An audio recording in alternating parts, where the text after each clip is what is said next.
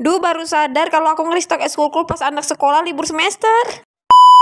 My Daily Life part 119.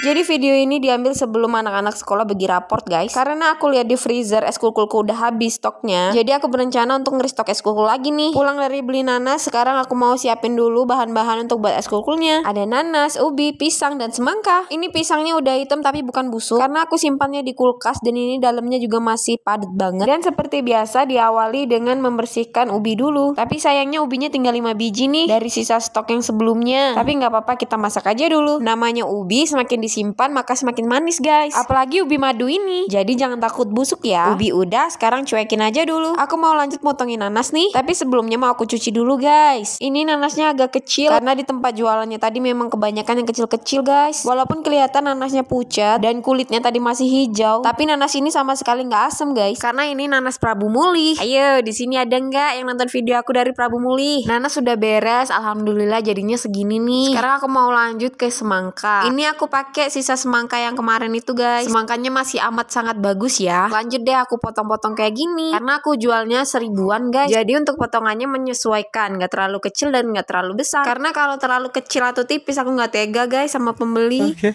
Sekarang lanjut ke pisang. Tuh, dalamnya masih mulus banget kan? Ini aku pakai pisang Ambon ya, guys. Kalau kalian mau pakai pisang apa aja boleh. Pisangnya nggak dikukus dulu, Kak? Biar lebih awet dan lebih enak. Karena setahu aku pisang Ambon itu nggak bisa dimasak. Kalau dimasak dia bakalan benyek. Jadi gitu ya, guys. Jadi mau dikukus atau enggak itu tergantung dari jenis pisang yang kita pakai ya. Sekarang lanjut ke ubi nih. Kebetulan ubinya udah matang. BTW, aku baru ngeh deh. Ternyata di saat aku ngeristok es kukul ini, anak-anak sekolah tuh besok tuh udah bagi raport, guys. Dan habis itu mereka bakal libur panjang kan dua mingguan. Aduh, kira-kira bakal ada yang beli nggak ya? Ya udahlah, pasrah aja sama Allah. Bismillah aja, semoga nanti es kukul tetap laris walaupun anak sekolah libur. Nah, jadi ini sisa-sisa es kukul mau aku bersihin dan mau aku buang ya guys. Habis itu ini aku mau bersihin yang freezernya. Bersihinnya gampang banget loh kalau freezernya dipakein plastik kayak gini. Kalian bisa pakai plastik apa aja kok, yang penting plastiknya lebar. Kalau udah tinggal ditata aja nih buah-buahannya. Cara aku natanya tuh kayak gini guys. Jadi untuk lidinya itu ada di tengah-tengah biar buahnya bisa muat banyak dan saling tumpang tindih. Jadi biar nanti buah-buah bahannya nggak rusak karena ketusuk-tusuk lidi lain. Oh ya guys, kalian tahu lead match nggak? Itu loh aplikasi untuk dapetin teman baru. Ternyata seru banget loh main lead match karena aku bisa dapetin teman yang seumuran dan sefrekuensi sama aku. Selain itu bisa chattingan, teleponan, bahkan bisa post foto dan video. Bahkan ada fitur avatar yang lucu dan gemes banget loh. Yuk kepoin lead match sekarang juga. Lanjut, selesai dari buat es kulku. Suami request nih minta dibuatin mie kuah seblak. Untuk bumbunya aku pakai bawang merah, bawang putih, cabai sama kencur. Ya walaupun mungkin aslinya bumbunya bukan gitu ya. Ini bumbunya mau aku tumis dulu sampai bau langunya hilang. Baru dia nanti tinggal dicampurin air kayak gini. Suamiku sukanya yang kuahnya banyak guys. Dan untuk kerupuknya ini sengaja dimasak terpisah. Terus kerupuknya kita pakai dikit aja karena kita masih mau campurin pakai sosis dan bakso nih. Terakhir baru deh kita masukin dua bungkus mie. Tapi bumbunya nggak ikut masuk sih. Dan jadi deh, ini dia mie kuah sebelah kalau aku. Ya udah deh aku mau lanjut makan dulu ya. Terima kasih banyak buat kalian yang udah nonton. Jangan lupa follow aku ya. Bye bye.